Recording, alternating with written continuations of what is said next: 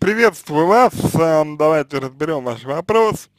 А, мужчина настаивает на том, чтобы я переехала к нему жить на его жилплощадь, пишет автор вопроса. А, при этом мы знакомы меньше, чем месяц. Ему 30, у нас разница 5 лет, он был уже женат всего год, жил вместе, детей нет. Я была замужем пять лет и сын три с половиной года. Я ему сказала, что не готова так быстро жить вместе, нужно время. Он вроде понял, сказал, что будет ждать, но я понимаю, что он опять эту тему заводит и уже просто раздражает. Я, например, опасаюсь такого, такого развития отношений стремительных и не понимаю, куда спешить. Для начала нужно так встречаться. И также бесят такие разговоры, типа я его, а ему нравлюсь, и я его такое ощущение, что я его собственность. Вроде человек неплохой, но такое поведение, как будто не уверенный в себе или что-то не так в нем. А, я чувствую, скоро контроль будет, а, что и куда я пошла. Особенно если жить вместе. До этого у меня были отношения, но такое впервые в большинстве я, конечно, решала, но в данном случае мужчина слишком много берет на себя а, даже решает, что и куда лучше моему ребенку. А также, что он не хотел бы, чтобы бывший муж и отец ребенка вмешивался в воспитание сына. То есть, если мы будем жить вместе, то он будет этим заниматься, и чтобы отец его не лез. Еще мне кажется, он таким образом и хочет, возможно, ограничить и свое общение с бывшим мужем. Хотя и мое общение, ваше общение – с бывшим мужем. Хотя у нас общение чисто по поводу ребенка и все.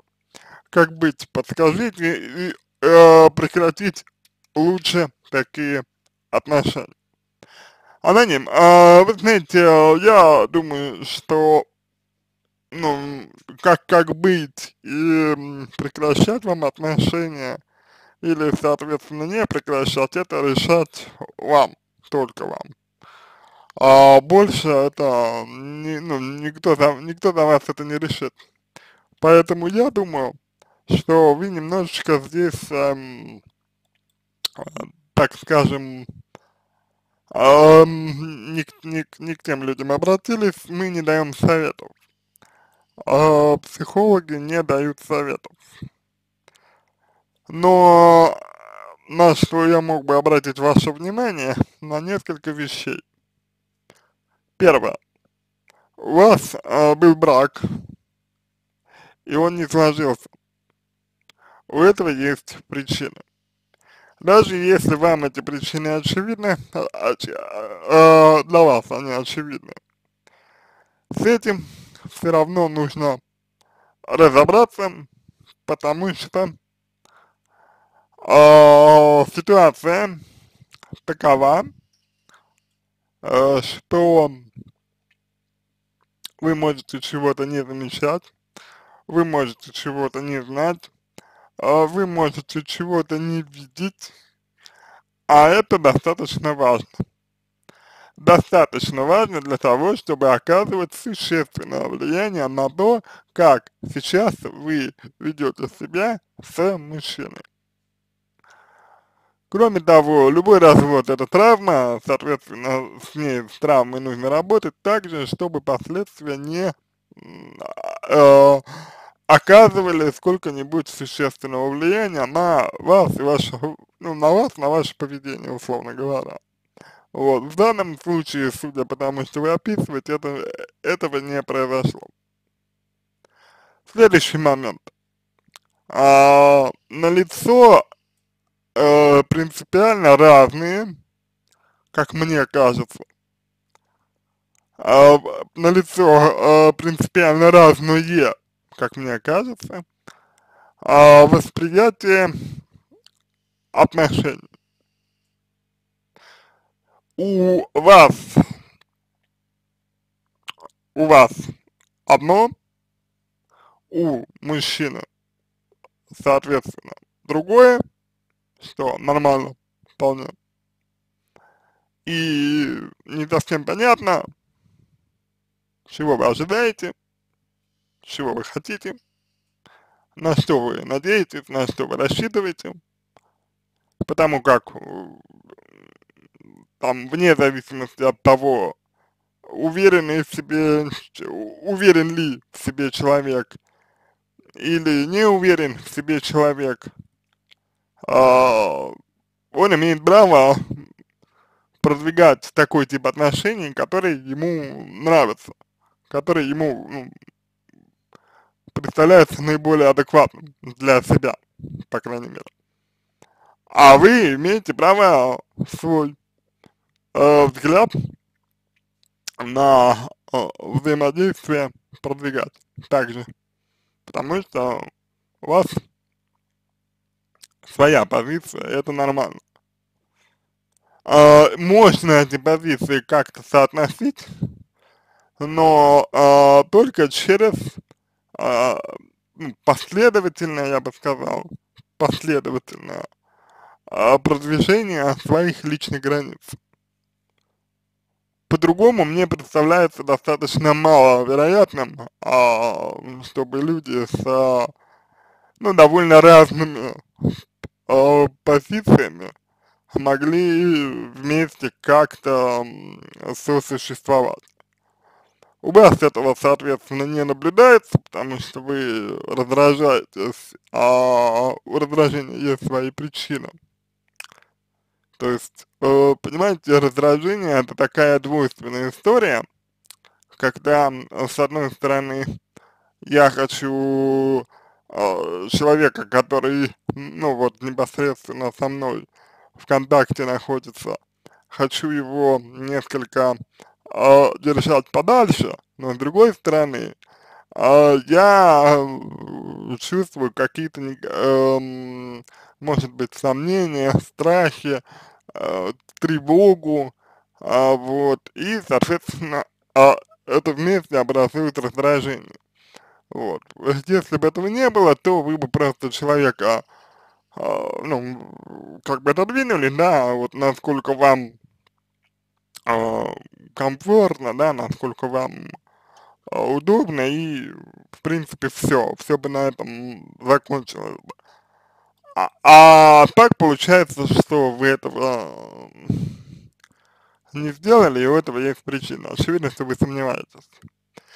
Следующий момент, на который э, хочется обратить ваше внимание, это то, что вы называете э, му, ну, мужчину, да, вы называете мужчину э, неплохим человеком, вы называете его неплохим человеком, и для вас, очевидно, это что-то что-то значит. То есть для вас очевидно, что это значит, что он неплохой человек. Я полагаю, что вот некая потребность ваша, э, которая, ну вот, э, проявляется в, в, в, это, э, в том, что он неплохой, не до конца осознается. Ее также нужно заметить, осознать, а, вот, желательно ее принять, так сказать, и имплементировать в ваше сознание, а, чтобы вы могли а, в том числе учитывать ее при а, реализации своего поведения. Пока что этого, опять же, к сожалению, не происходит. Пока что вы просто говорите, что ну вот, э, я вот знаю, что э, будет определенный негатив, я вот знаю, что э, скорее всего будет контроль, я вот вижу уже э, какие-то, э, значит, э, негативные тенденции, допустим, в сторону моей свободы, да, и т.д. и т.п., но человек он неплохой, я как бы не знаю, как поступить, я сомневаюсь. То есть вот эта вот двойственность, э, в какой-то степени противоречивость, э, является проблемой, которая, скорее всего, э, привела к распаду вашего брака. Э, вот. И, соответственно, данная противоречивость – это верхушка айсберга, э, за ней э, скрыт определенный личностный конфликт ваш, а, с которым нужно работать, и, соответственно, его ну, необходимо вам разрешить.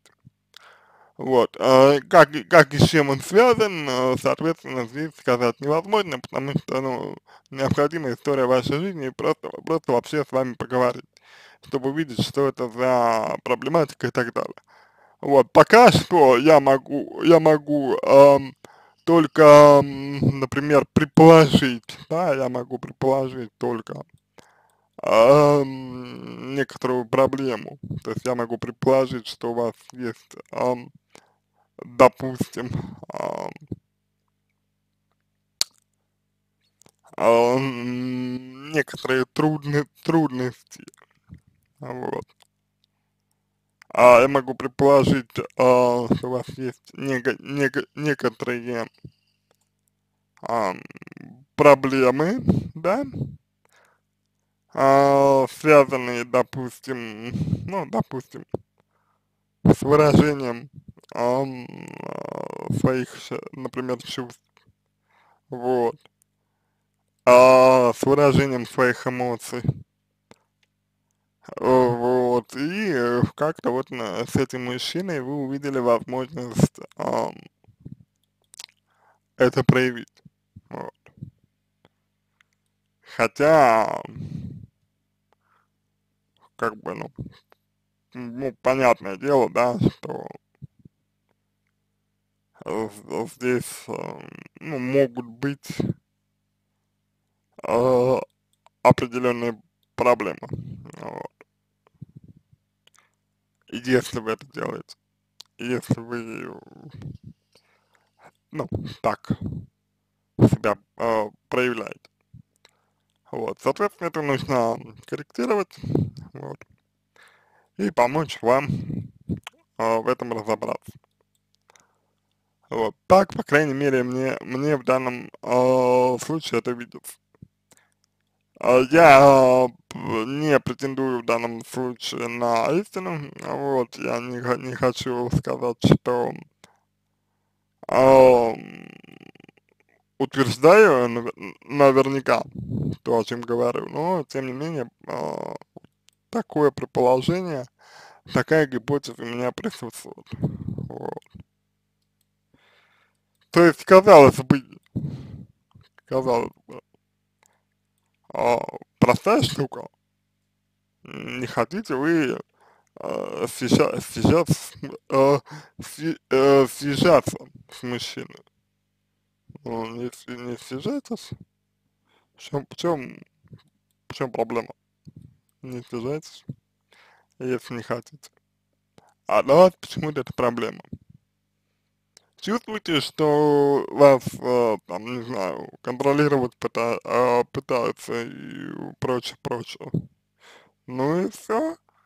А, значит, э, человека нужно, нужно э, держать подальше, вот. Но нет, вы почему вы почему-то этого не делаете.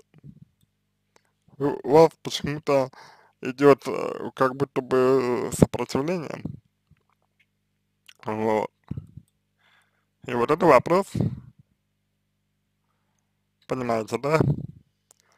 Вот это вопрос, на который, вам необходимо, э, как мне кажется, э, себе ответить. Вот. И дальше уже будет, э, как мне думается, проще вот, проще в себе, ну, в себе разобраться да? Вот, так, я думаю, можно, можно вам а, с точки зрения а, пси, а, психологии ответить. На этом все.